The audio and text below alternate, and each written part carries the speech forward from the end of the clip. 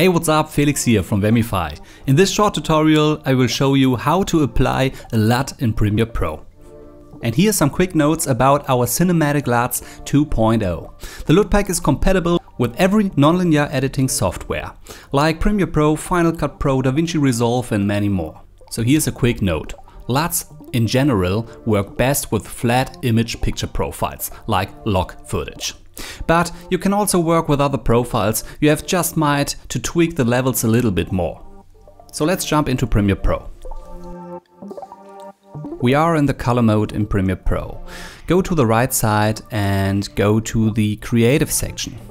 Um, don't use the basic correction because you have more options in the creative section to tweak the levels to get the best results. So let's jump to the creative section, go to the look, click on browse and here you can see all the LUTs you will receive with your downloaded folder. You have always to test some different LUTs on your shots. For this one, let's use the blue hour. Okay, this is a perfect match. You can see the color, it looks really nice. Click here above on the box to check the before and after.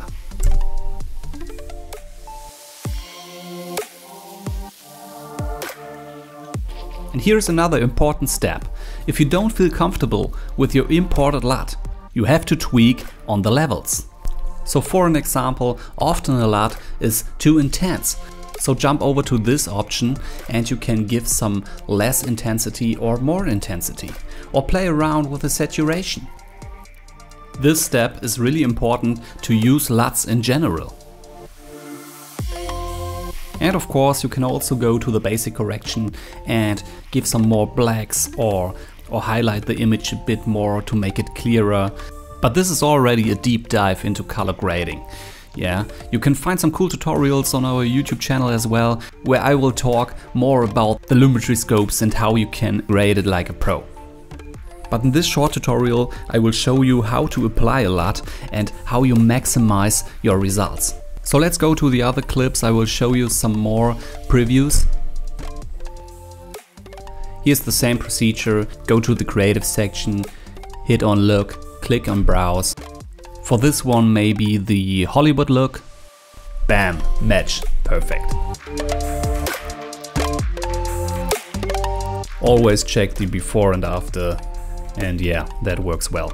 Let's use another one for the second clip. For this beautiful shot we use the cinematic gold one. Okay, nice, that works. So, this was my short tutorial how to apply our LUTs in Premiere Pro. And feel free to check out our store where you can find some more LUTs video assets and sound effects. So see you soon, have a good one, Felix from Vamify.